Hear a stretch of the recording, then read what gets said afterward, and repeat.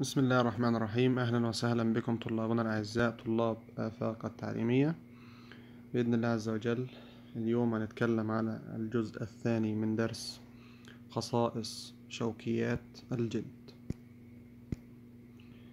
في الجزء الأول آه، تحدثنا عن خصائص شوكيات الجلد. تحدثنا على آه، تركيب الجسم.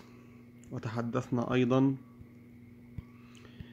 على الشكل العام لشوكيات الجلد والنظام الوعائي آه، آلية أو كيفية التغذية والهضم التنفس والدوران والإخراج الاستجابة للمثيرات والحركة وختمنا بالتكاثر والنمو.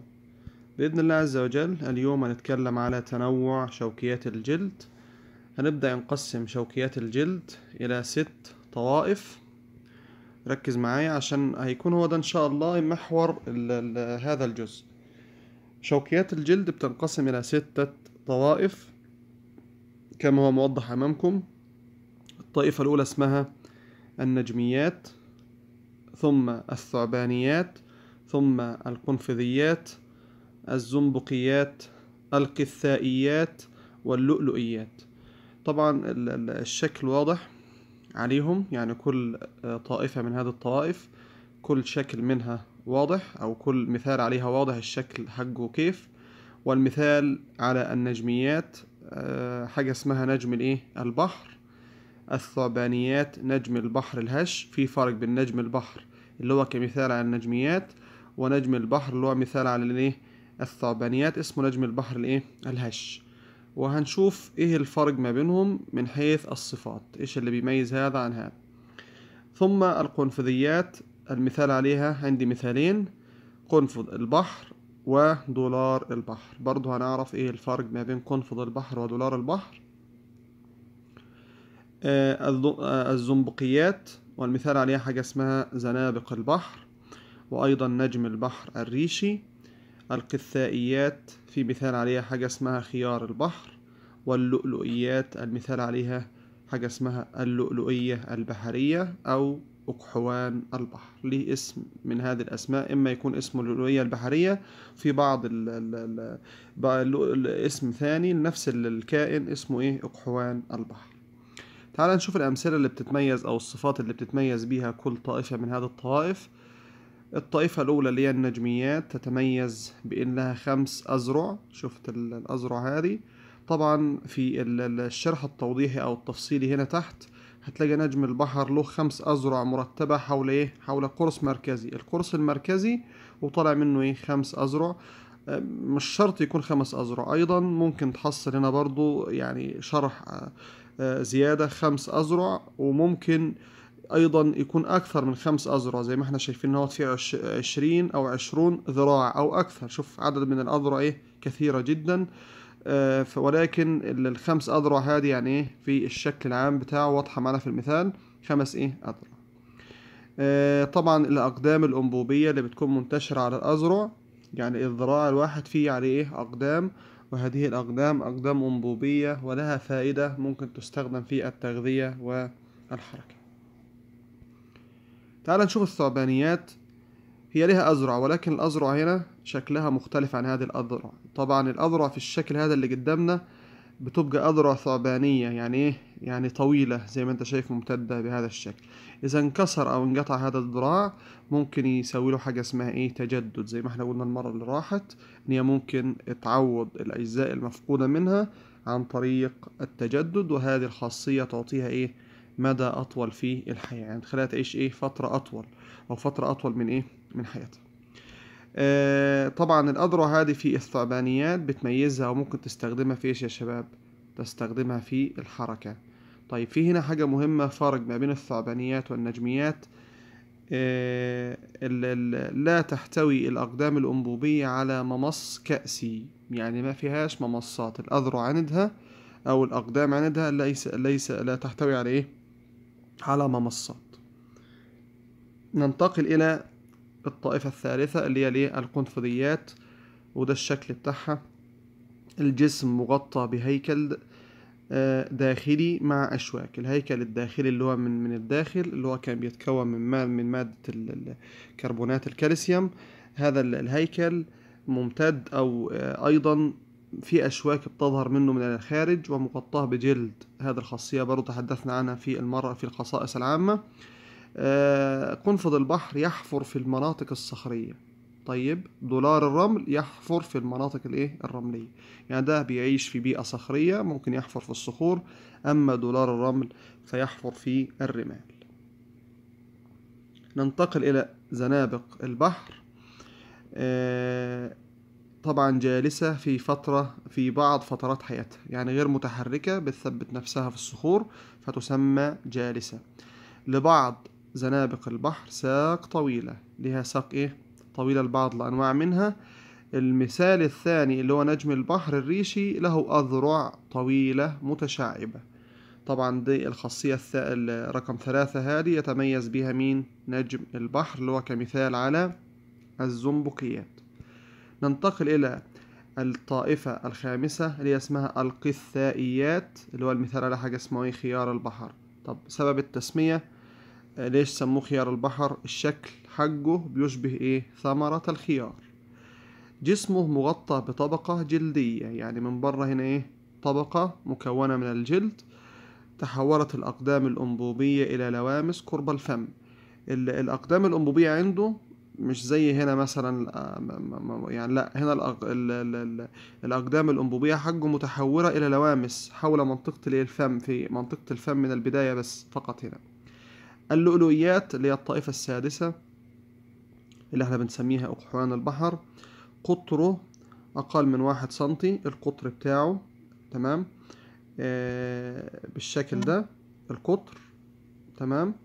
طبعا بيكون إيه؟ واحد سنتي متر بيكون إيه؟ أقل من واحد سنتيمتر. ليس له أذرع زي ما إحنا شايفين قدامنا. آه توجد الأقدام الأنبوبية حول قرص مركزي. الأقدام الأنبوبية زي ما هي طالعة اهي شوف طالعة اللي هي دي. دي اسمها أقدام أنبوبية. كلها حوالين الايه هذا القرص الايه المركزي اللي هو موجود في المنتصف. طبعا ال- الجدول اللي أمامنا الحين يا شباب ده بيختصر ال ال بيختصر ال- اللي هو طوائف شوكيات الجلد اللي هو إحنا بنسميها التنوع حق طو... حق شوكيات الجلد. بيختصر عندي الطوائف الستة من حيث المسميات والأمثلة على كل نوع والخصائص اللي, اللي بيتميز بيها كل إيه؟ كل نوع. طيب هنا لو جينا في ال- ال- الجزء اللي بعد كده آه، طبعا هتلاقيه بيتكلم بالتفصيل. نجم البحر يعني إيش الخصائص اللي بيتميز بيها بالضبط؟ الطائفة الثانية اللي هي إيه نجم البحر الهش. آه، هننتقل لحاجة اسمها قنفذ البحر ودولار الرمل؟ يعني هو نفس الست شعب اللي فوق دول بس هو هيجيبهم كمثال لكل واحد فيهم وهيشرح إيه المميزات اللي إيه اللي بيتميز بيها كل واحد فيهم بالضبط. لكن الجدول ده ملخص زي ما إحنا شرحناه مع بعض الحين وملخص لنا الإيه؟ الخصائص التي يتميز التي يتميز بها كل طائفة من هذه الطوائف الست. ومثال على كل آه، طائفة آه، والرسم أيضا موضح فيها. في هنا جزء توضيحي أكثر لشكل ال- ال- الكائنات زي قنفذ البحر ودولار الرمل. أيضا في هنا مصباح أرسطو آه، من الأشياء التي تتميز بها شوكيات الجلد. مصباح أرسطو. وطبعا سبب التسمية في مصباح أرسطو ده هو طبعا مهم في عملية الإيه؟ في عملية ال- الغذاء. وطبعا سبب تسميته إن اللي اكتشفه كان مين هو؟ كان العالم اليوناني أرسطو. واتكلم عنه ووصفه في كتاب اسمه كتاب تاريخ الحيوانات.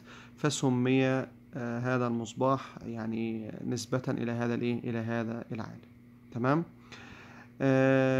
برضو في عندي أمثلة زي زنابق البحر شكلها واضح. نجم البحر الريشي الأمثلة واضحة. وطبعا زي ما قلنا ال- الشرح اللي موجود ده شرح تفصيلي للاختصارات اللي إحنا قلناها قبل شوي. هننتقل لجزء مهم في ختام هذا الدرس. هل زي ما بنسأل دائما هل شوكيات الجلد هامة أم ضارة؟ يعني لها فوائد ولا ليست مفيدة؟ وهل لها أضرار أم ليست ضارة؟ طبعا آه، شوكيات الجلد خيار البحر قنفذ البحر مصدر غذاء لسكان الايه لسكان المناطق الآسيوية. طبعا في ناس كتير جدا بتعتبرها إيه كمصدر للايه كمصدر للغذاء. وده من من أهم من يعني يعتبر أهمية آه لشوكيات الايه الجلد. طبعا في أمثلة كتير جدا زي خيار البحر بينضاف الكادة. إحنا ممكن نختصر إن هو مصدر للايه مصدر لغذاء سكان الايه بعض البلدان الأسيوية. طيب هي في النظام البيئي مفيدة ولا مش مفيدة؟ هنلاقي عندي اهوت في آه، ممكن تعمل حاجة اسمها علاقة تعايش بين بعض شوكيات الجلد والحيوانات البحرية الأخرى؟ تمام؟ طبعا في واحد هيستفيد والتاني إيه؟ لا يستفيد والآخر إيه؟ لا يستفيد ولا يضر. يعني هي مهمة ممكن تنشأ علاقات آه، غذائية ما بينها وبين كائنات أخرى فغيابها هيؤثر على إيه؟ على النظام البيئي. طيب آه عايزين أهميات تانية. هنا طبعا هيوضح أكثر. هيقول لي لو انخفض أعداد قنفذ البحر آه مثلا في مرض أو في شيء آه، في في ال في ال آه، انتشر في المياه طبعا هيحصل إيه؟ هو بيتغذى عليه قنفذ البحر ده بيتغذى على حاجة اسمها إيه؟ الطحالب. طبعا لو انتشر أو بدأ ينقرض قنفذ البحر فبالتالي إيه اللي هيحصل للطحالب؟ هتزداد الطحالب. تمام؟ يبقى يعني وجوده في النظام البيئي مهم جدا جدا. هنبص أهو هيحصل تغير في الإيه؟ تغير في النظام البيئي إذا انقرض آه، قنفذ البحر نتيجة لازدياد الإيه؟ لازدياد الإيه؟ الطحالب. طبعا آه، ازدياد الطحالب ده آه، لو زادت على الشعاب المرجانية فبالتالي هيؤدي إلى تدمير الإيه؟ تدمير المرجان. يبقى اذا العلاقة علاقة إيه؟ علاقة علاقة هنا علاقة مهمة جدا في النظام الغذائي والسلسلة الغذائية. لو حدث في جزء منها آه، يعني انقرض أو حدث له يعني ما كانش موجود أو حدث له غياب فبالتالي سيؤثر في النظام البيئي تمام؟ تعالى نشوف في ال ال الأضرار بعض الأضرار اللي موجودة لشوكيات الجلد. طيب شوكيات الجلد هي ضارة؟ شوكيات الجلد مثلا يعني هيديني أمثلة عليها هون آه، تغير بعض شوكيات الجلد ممكن تعمل تغيير في النظام البيئي. طب إزاي هتعمل تغيير في النظام البيئي؟ مثال على الكلام ده حاجة اسمها نجم البحر ده بيتغذى على مين؟ على بوليب الإيه؟ المرجان. طب لو دخل جوه البرجان المرجان وأكل البوليب الموجود فبالتالي هيحصل إيه؟ عندما تتكاثر هذه المخلوقات تدمر ليه؟ الشعاب المرجانية. فبالتالي من كثرة ما هي تبدأ إن هي آه، تأكل الشعاب المرجانية فيؤدي ذلك إلى إيه؟ إلى تدمير الشعاب المرجانية. فبالتالي مين اللي بيأكل مين اللي هيأكل قنفذ البحر؟ حاجة اسمها إيه؟ اسمه ثعلب الإيه؟ البحر. هو الشكل اللي قدامك ده. بيأكل مين؟ بيأكل نجم البحر. فبالتالي لو انخفض عدد الثعالب هيزداد عدد مين؟ عدد نجم البحر. وبالتالي لو ازداد عدد نجم البحر مين اللي هيتأثر؟ هيتأثر حاجة اسمها الشعاب الايه؟ المرجانية. تتغذى قنافذ البحر على مين؟ على غابات عشب البحر. فهذا سيؤدي إلى تدمير مين؟ بيئات الإيه؟ الأسماك والقواقع والسرطانات يعني أيضا ازدياد عدد شوكيات الجلد سيؤدي إلى خلل في النظام البيئي زي ما إحنا شفنا المثال اللي هو إيه ذكره قدام منا. وطبعا هو شرح إن هي سلسلة غذائية ما بدأ بحاجة اسمها ثعلب البحر ثم ثعلب البحر هياكل حاجة اسمها إيه نجم البحر. ونجم البحر ده لو حدث انخفاض في عدد ثعلب البحر ما كانش موجود نجم البحر ده يحصل له إيه هيزداد. وبالتالي لو ازداد هيبدأ يط... ي... يأكل حاجة اسمها إيه عشب البحر. وبالتالي مين اللي هيتأثر؟ الأسماك. فهي يحدث هنا إيه؟ هيكون فينا خلل في النظام البيئي. يبقى وجود شوكيات الجلد لو اختصرنا هذا الكلام وجود شوكيات الجلد آه، له أثر هام جدا في النظام البيئي ولها فوائد تستخدم كتغذية زي ما إحنا شفنا قبل شوي. في بعض الدول بتستخدمها كتغذية آه، لها فوائد كثيرة جدا في النظام البيئي وعدم وجودها سيؤدي إلى خلل في هذا النظام. وازديادها أيضا سيؤدي إلى خلل في النظام البيئي. وصلنا لنهاية الدرس. بإذن الله عز وجل نلقاكم في درس آخر. والسلام عليكم ورحمة الله وبركاته.